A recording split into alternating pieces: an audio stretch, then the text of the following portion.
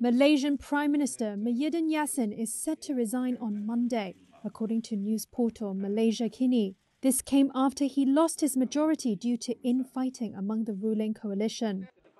If confirmed, Muhyiddin's resignation would end a tumultuous 17 months in office.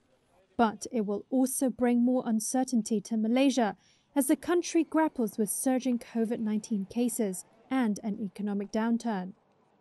Muhyiddin's grip on power has been precarious since he took office in March 2020 with a slim majority.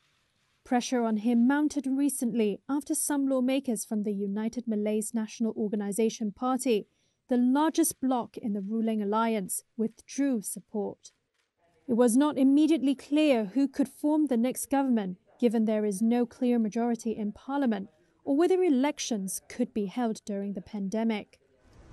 It would be up to the constitutional monarch, King Al Sultan Abdullah, to decide what happens next.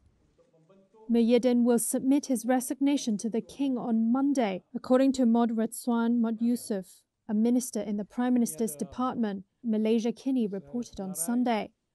Reuters could not reach Mod Rizwan, and the Prime Minister's office did not immediately respond to a request for comment.